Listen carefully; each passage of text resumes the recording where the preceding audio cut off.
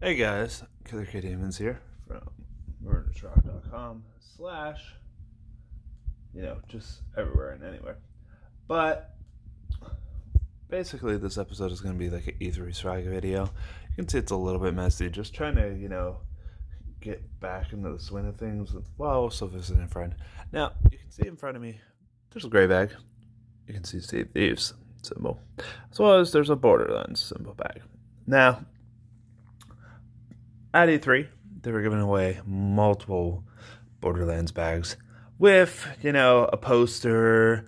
Uh, I think it's like a little wall scroll, like decorative art and whatnot, and a Borderlands Psycho mask. Now, in the bag row right now, just to save space because it was a little bit hard to carry uh, on its own, is the Dying Light 2 statue. Now, we're not going to be opening Dying Light 2 statue because a lot of people probably want it as a collector's item.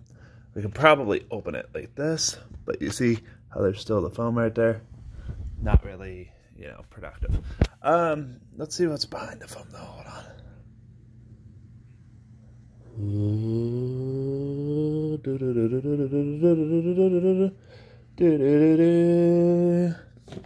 You see on the back how it's like just still the statue, but only the front has it. So let's see what's behind the foam actually. I thought it was going to be wrapped in plastic. So let's see. Yeah, I'm on foam. So here's the statue. Looks like the arm came out of it. Let's move that back. But let's look at it. Interesting little, you know, skull kind of stand. Look at that detail. Boom. Right in your face. Then there is the main character of the game. Bam. Bam. That detail. It's not like this little plastic figure. It's kind of actually hard. And then you have this. His little arm that, you know, is apparently severed.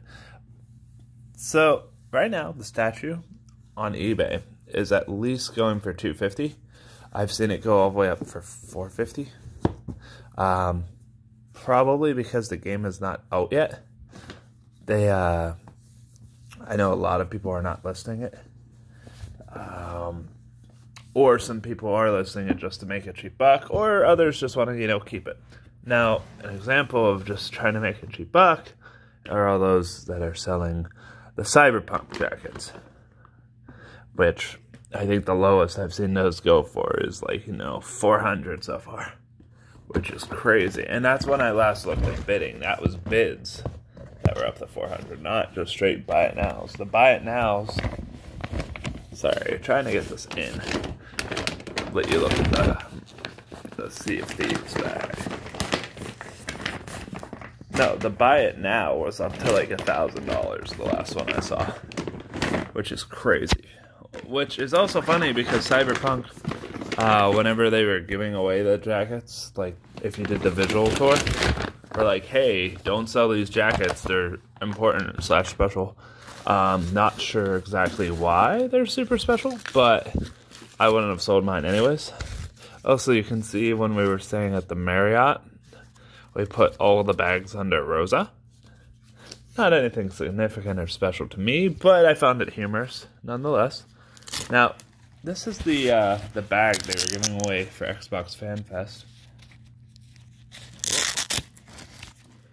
where I hadn't looked in it yet, but this was not part of the Fan Fest, at least not that I know of. This is actually part of the Borderlands bag. Uh, they were giving away one, where I just used it as storage, kind of. So I'm not too concerned about that, but let's see what's in here. Uh, these are actually not part of the bag as well, but there is, because one is a Devolver shirt, and the other is a Sega shirt. If you want to look at Retro Sega, Sega, Retro Sega, I'm Sean Connery with a sh. No, um, it's Retro Sega, and I remember having the Game Gear, which is really cool. Looking at this, like looking at their past success, and then deaf. But, but let's focus on the success. overall, it is a neat little shirt with all the like retro consoles. So it would be a really cool like retro gaming shirt for somebody to wear. I don't know if I'm gonna keep it or sell, like sell it to a friend or give it to a friend, but I don't know. It was a cool thing to get from Sega. Um, you had to play a certain amount of their games at the booth, which because of media was able to you know just kind of cheat and get in. Um, so I apologize for anyone who was waiting in line and that later sees this. But hey, at least the Sega lines were relatively short compared to the rest of E3. Just saying. And then this is the Devolver shirt. It has a dog on it. Um, Devolver had kind of like a dog theme going this year. I'm not going to touch it right now, but that's fine. This is a Plantronics headset, which I already have. Uh, a few headsets. I have one of theirs. I have their 600 model, as well as basically uh, what is it called? I have a HyperX Cloud set one. Um, but apparently this is wireless, which could be interesting. It still has the microphone. It still has the headphone. Uh, wireless headset, wireless base, USB charge cable, Dolby Atmos activation card. Interesting. I may keep this. I was originally considering selling it for like 129 or even more because it is wireless. But I don't like having the cord on all the time, so this might be a good alternative. The fact that it also says it has a 24 hour battery is pretty neat. Now, this is another thing from Sega. It's the little sheep ears from Catherine, which is kind of cool. Um, I'm not too concerned about the Catherine ears. I think I got duplicates anyways. So I'd always be willing to give herself one of them away. But this is the bag uh, that they were giving away from FanFest, the Sea of Thieves bags. Personally, I enjoy Sea of Thieves so much that I played it twice during E3 because lines for everything else was ridiculously long. But that's besides the point. There's even like a little side pocket here if you need it, which is kind of cool. Um, another side pocket right here. I guess these side pockets could be like water bottle pockets too. They don't have to be like pockets pockets. I'm not sure. Wondering why they have this up here. This is weird to me. It's like a little holder. I guess it's a phone holder or USB holder.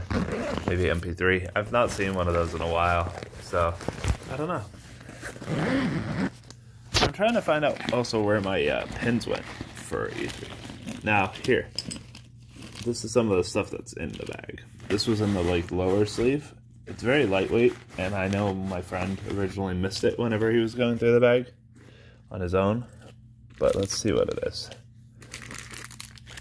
There is a little Lego man to celebrate Forza Lego Horizon. Let's go zoom in on him a little bit. Look at that guy. Everything is awesome. And it says McLaren Senna Aurelia. But he's a little neat little dude. Uh, I'm sorry about the focusing in and out, but apparently if I move too fast, it will do that. We'll put Lego Man back in here. Next up is the Xbox Fan Fest 5th anniversary medallion. Like, I, I don't know if you can see how heavy it is, but it's pretty thick. I thought it was like a light little coin, but it's surprisingly heavy. Next is interesting. I don't know what this is from actually. I'm guessing. I wanted to guess Metro Exodus, but it's probably not Metro Exodus. And the back doesn't really tell me anything. So maybe Ironborn or something? I don't know. Not Ironborn, fuck, wrong. Next from them is a Kingdom Come Deliverance lanyard. Now, personally, I don't wear lanyards. Most of them, ones I have, sit at home. Uh, I think with the exception of the League of Legends one I have, but now this is interesting. They gave us an Elite Xbox Elite Wireless Controller 2 series. Um, little like button. I'm not sure if this thing in here opens up. Like it looks like it's a cardstock that may open up. I'll check it out in a second. Uh, but here is a Cyberpunk 2077 lanyard. Let me try to get it to zoom in properly. Zoom properly. Why are you not focusing, you son of a bitch? There we go. Cyberpunk 2077 Lanyard. Uh, it's kind of actually thick and sturdy. I'm surprised. It looked flimsy at first, but I guess it wasn't as flimsy as I thought. Now I'm gonna open up this Elite thing. I'll let you look at the Borderlands bag while we wait. Give you some shaky camera. So the cardstock, I thought it might have something in it, like a secret code. Like if you look at the back, I don't see anything. And it just says, learn more at Xbox.com. So on one hand, it's neat that they gave us this because it commemorates the Xbox Fan Fest. But if you're not planning to buy the Elite Wireless Controller 2 series, it's kind of useless. Like, okay. I'll hold on to it for a bit, I guess because uh, maybe they'll surprise us with a FanFest uh, wireless Series 2 controller or something. I don't know. Um, they've done that in the past, so we'll see what happens. Let's see. Okay, now main time for the main bag. I am still curious to see if anything's in here. I didn't really reach around in there. No, there's nothing in there. So it's not a big loss. Now it's time to go into the main bag. So, there's quite a bit in here apparently already. There's a Sea of Thieves pin. There's a Gears of War 5 pin. That's getting some work clear from the sun. Come camera. You want to focus for me? There we go. Yeah, Gears of War 5 pin. There's some Battletoad sunglasses. Battletoads. There is a red Age of Empires 2 shirt.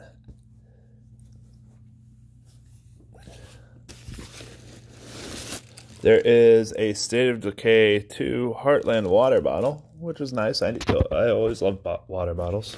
I already have a few though, so it's not an X like you know duo endo. Xbox Game Pass, discover your next game. Gonna look at see what's in there at first. Okay, that's just the little booklet they had us fill out to get like a free uh, X- Xbox Game Pass Ultimate thing.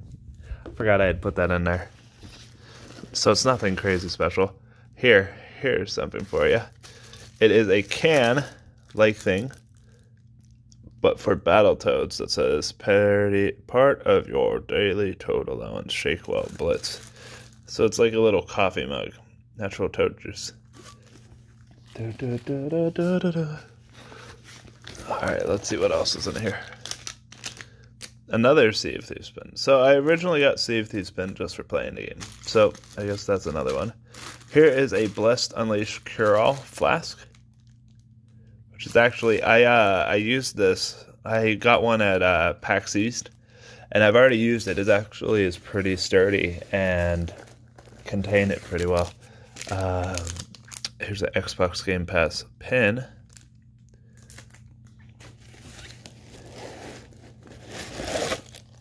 So I'm wondering where all my pins went.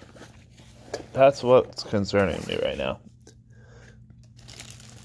Oh, to here is another Borderlands mask. I don't need all these Borderlands masks, so I'll probably give one away, or maybe two. I know one's going to Mitch and one's probably going to Patrick. So Hey, that's fine. We have more masks, right, that we can deal with. Oh, God. Why so many masks? Too many children at the vault. Alright, so we still have those. Um, there's also apparently a Kingdom Come Deliverance code. Um, let me look. Yeah, there is a code on there. I'm not a fan of the series, but I know other people probably are. There's some business cards. I don't remember who they are. I mean, I probably did talk with them. Yeah, I remember getting these. So it's not a duo and all. This would actually be in my E3 lanyard. Um, and then there's a code for Xbox Game Pass for one month. I can show you part of it because it's not fully uncovered. Um, I'm not too concerned if somebody takes a one month of it. But hey, feel free if you can figure it out. Then there's this Battletoads foam hand, relax upper. Supposedly, let me go look in here and see if there's anything. There's nothing in it, But like, look, bro, kind of cool. I like it. So that's there. Let's go see what else is in there. I was told there was a few more things, and I'm just looking for it. I don't see anything. Okay, here is a Gears of War 5 comic book for Hive Buster, which they showed a cutscene. So supposedly it's a $3.99 value if you were buying off the shelf. I don't know if they plan on releasing it everywhere or if it's a collector's edition or something. But hey, it's issue one. It's not bad. Let's see if there's anything else. There is more in here, apparently. But wait, there's more. There's also the Spartan ship, inspired by Halo for Sea of Thieves. So there is a code. You can't see it through there. But, yeah. There's Sea of Thieves tattoo bag. Which I have a few of those at home. I love them personally. Now, this is a gift from Microsoft Rewards. I know what's in here, so I'm not opening it. But I'm going to put that to the side. But basically, it is a, uh, hey, you call this code. What the fuck is this? Sorry. Um, it gives a code for basically $10 worth of uh, code or rewards. There's also a golden Ninja Theory Bleeding Edge pass where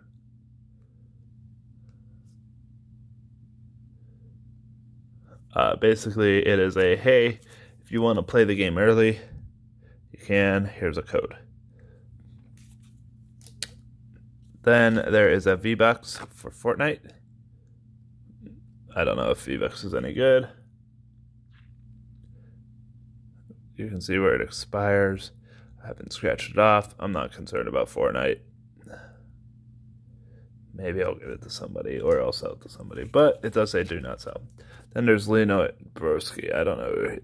Uh, I guess he's a like playing cards for the Outer Worlds, which is kind of cool. Gonna be careful with it in case it becomes a collector's item. Um, yeah, I am curious of why they gave us an Elite uh, 2. Like, uh, an Elite 2 like uh, button, but there is more from E3. I just can't find it at the moment. It's probably in my suitcase. I will be back for a part two if I can find it. There's some Ubisoft stuff and some pins. Um, but that's all for now, and I'll see you in the next video.